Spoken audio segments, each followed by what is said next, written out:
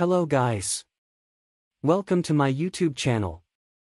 In this video, I will demonstrate some basic and essential configurations on MikroTik.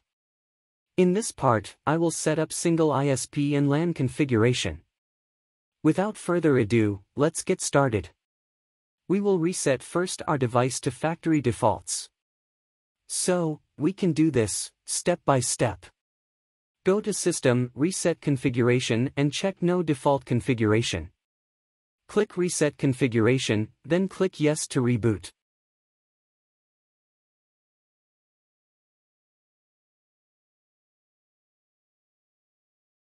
I will pause for a moment while factory reset is on progress. Alright, let's continue. We will access our device. User will be admin and no password.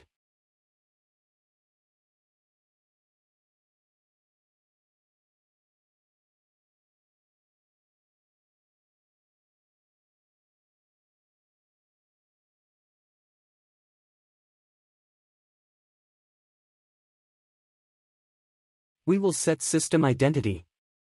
Click select then click identity. We will name this device JAT router. Click OK. Next, we will create another user. Click System then click Users. User list will pop up. Click plus button. We will name this new user, JAT user. Group will be full.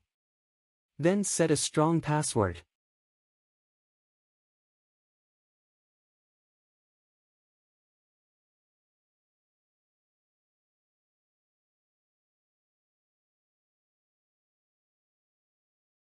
Click OK. We will exit and access the newly created user.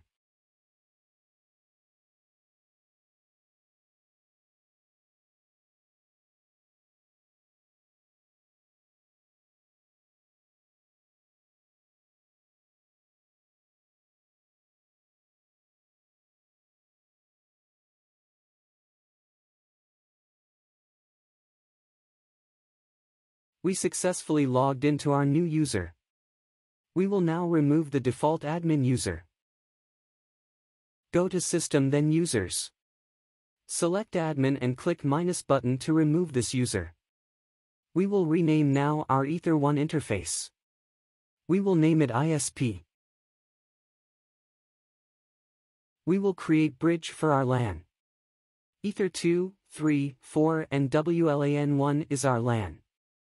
We will now create a bridge for our LAN. Go to Bridge. Click plus button. We will name this bridge LAN.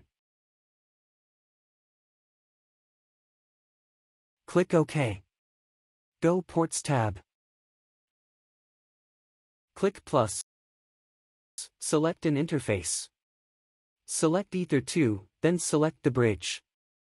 Click OK. Do it again for Ether 3, Ether 4 and WLAN 1.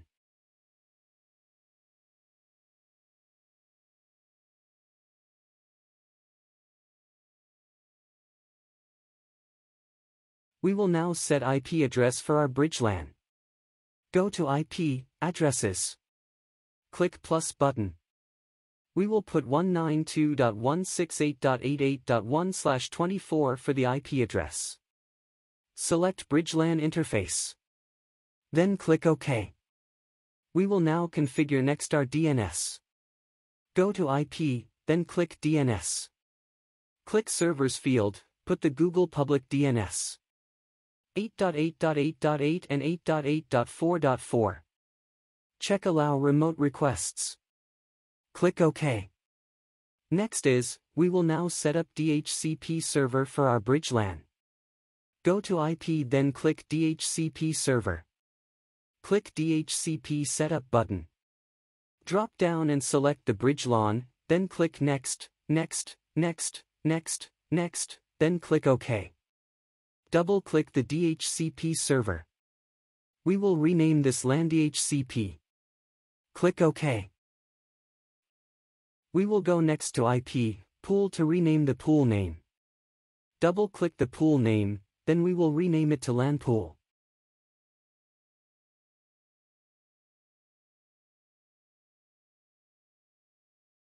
We will now configure our ISP so that we can have an internet. Our ISP is in bridge mode.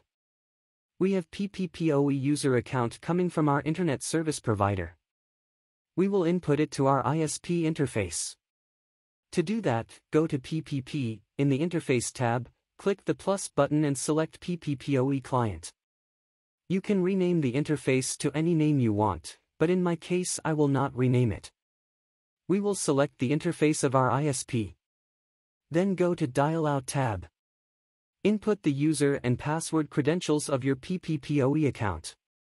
Then click OK. It should have AR letter beside the PPPoE interface, meaning it is running. You can double-click it to see the status and details of your ISP. Last step is we will configure our firewall NAT of our ISP and set it to masquerade. Go to IP, Firewall. Then select NAT tab. Click plus button. Go to General, Out Interface, select the PPPoE interface of your ISP. Then click Action tab. In Action field, select Masquerade. Then click OK. Let's test if we already have an internet. Go to New Terminal, type pinggoogle.com then press Enter.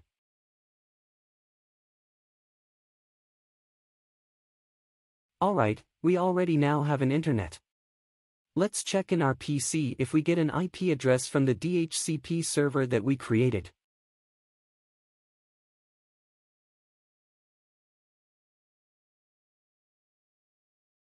Go to command prompt. Type ipconfig. Alright.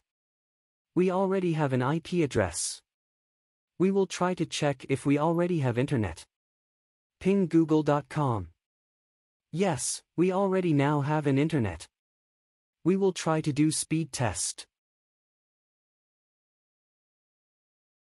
Yes, we already have an internet. In our next video, I will show you guys how to configure our wireless LAN.